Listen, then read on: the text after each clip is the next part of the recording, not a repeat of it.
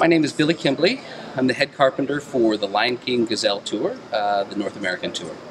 Uh, part of my job as the head carpenter for the Lion King Tour is to actually move the show around the country from place to place. Uh, to do that, it actually takes us 18 tractor trailers to get from one venue to the next, uh, but we don't do it all at one time.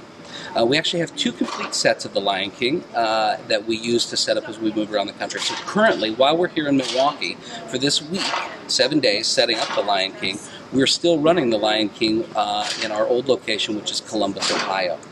So while we're here this week, we'll set up the first 13 trailers. It's going to be most of the puppets for the show. It's going to be all of the lighting. It's going to be the sound. It's going to be the stage, uh, and most of the props that we use backstage.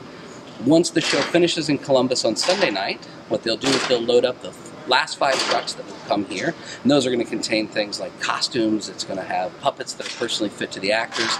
Uh, it's going to have all of our work boxes and all of the other things that we use to sort of create uh, our little town everywhere that we go and set up. Uh, those five trucks will drive here Monday. We'll unload them Monday night. Tuesday morning, we'll finish setting them up. Tuesday afternoon, we'll have a rehearsal, and Tuesday evening, we'll be open to the public here in Milwaukee.